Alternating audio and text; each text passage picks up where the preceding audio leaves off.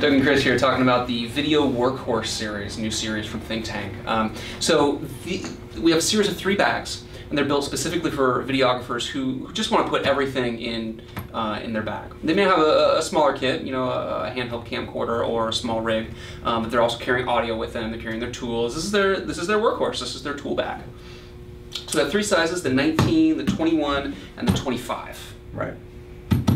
So let's start again by talking about who would actually use these cases. So let's open this one up and let's look at that camera.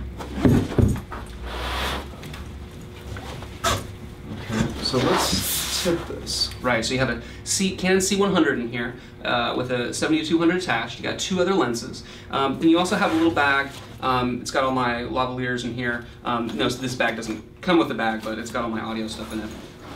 Right, so um, again, the concept of these cases is that the camera remains assembled, right? And so they can put it in here almost completely assembled and it's still protected. Right, yeah, it's, it's, it's it's mostly assembled. It's somewhere in between, let's say, our transport cases and our, and our rig roller. It's not right. a huge rig, but yet it's not completely broken down. Um, but there's a lot of other, you know, additional components. You have your, um, you know, your shotgun mic with your dead cat on it. You have a, your audio recorder, some cables, tools, mm -hmm. an iPad Mini. So um, whatever they need to put in, they may they may have two or three of these, right? Depending on on what sort of mm-hmm. shoot they're doing, and it, and it depends on.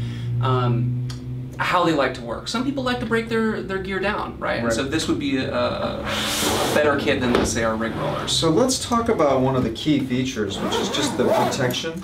So in the top here, we have, it's basically a, a twin wall ABS material. That's right. And it also has a, an aluminum stave on the inside. Mm -hmm. So what that does in combination with the structure we've created on the outside is that it creates a very sturdy top. And to demonstrate that, oh, this is five pounds. I'm not a weightlifter. anyway, so here's 45 pounds on the existing bag. Right, and so that frame and that top completely supports um, that large amount of weight. I mean, this isn't something that you're going to want to stand on per se, but you right. can see how protective it is from impact, uh, from bumps, from bruises. Right, especially if people mount on the top, the microphone or the monitor or something like that, right. then it's really susceptible to the top. Right. And you really need the top protected. Exactly. okay. So, can talk a little bit more about the about the features involved. This is a shoulder bag, right? This is one of the most um, common silhouettes, so the common shape of bag and common way that, that people will use it in the marketplace. Um, so this will actually be, you know, this series, excuse me, will be the big seller just because uh, within the video industry, people are so used to carrying their audio gear around or carrying their video gear around within, uh, within a shoulder bag.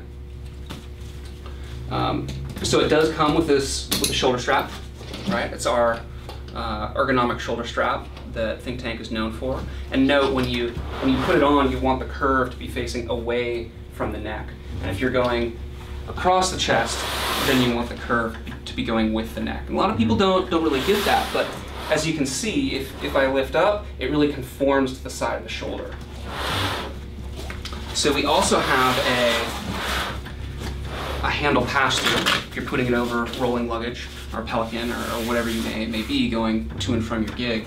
Um, to make that really, really handy to, because you're gonna have a lot of bags with you. Fred has side handles both sides and the top, because mm-hmm. it may be that you're putting this in and out of a truck or sliding it, Absolutely. which brings us to a key point, which is the bottom. Right. Rails on the bottom. There's rails on the bottom, but from a construction point of view, we made this in a, in a, special way, which I'm not going to explain because it's too complicated. But the net end result is that the feet are actually lifting the bag off the ground, and there's no there's no part of the bag like the corners that hit the ground. That's a common problem. Right. So we, we solved that in terms of our product engineering. It's a really rigid bottom. It's not like these feet are just going to kind of sink in and, right. and, and, the bottom will touch. So rigidity all the way around Right, so it's very protected. Yeah. So we have the three handles on the top. We have one of our traditional top pockets. We've got a front pocket. Pocket in the front for you know, flat things, cables, mm -hmm. different accessories. And then if we go back again to the inside, okay, two pockets on the inside. Right. You'll, you'll, you'll put tools or um, various cabling, maybe audio accessories. Um, so again, you can really customize this bag to however you, you like it. We, we include um, a couple of these little bolster cushions so you can really support the, the camera. As you can see, take the uh, tie down strap off and then pull out the camera. So this is a C, C100, 7200 attached, and then I have this um, bolstered under the lens to make sure that there's no no tension there, right? You don't want any tension on that that mounting bracket. So just kind of taking out everything that we've got in here.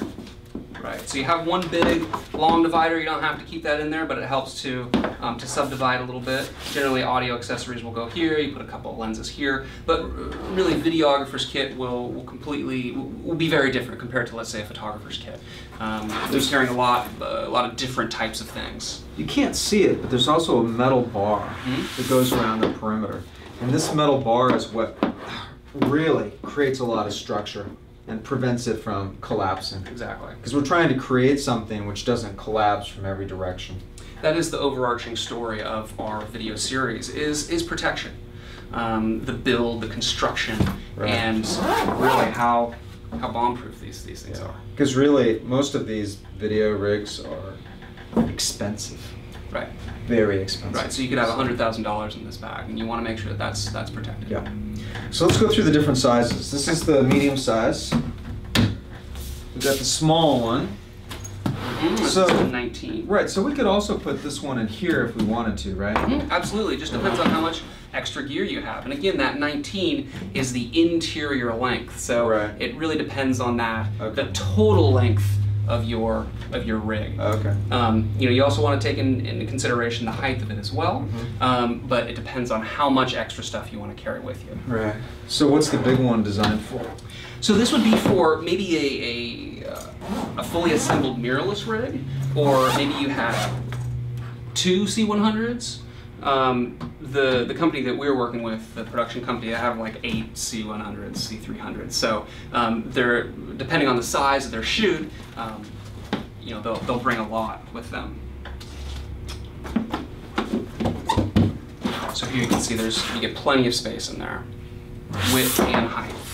Um, but for something like this, as you can see, you can't build it up a whole lot more. You could maybe put on a little top handle or something like that. That's that's one thing that people tend to not want to detach. So would this be an alternative to the to the red system? Um, yeah, I mean, you could even put a red in here, Mhm. right? Something that, that would be more like this, maybe with a top handle, Right. if you're just doing a handheld. Or again, it's it's partially assembled, right? There's um, um, there's benefit to only assembling it partially. Uh, some people don't want all the bits and bobs attached as they're going from point A to point B. Okay. Yeah. Cool. So we have three sizes. Right. So these are the video workhorses: uh, the 19, the 21, and the 25. So from Think Tank Photo. Thanks for watching.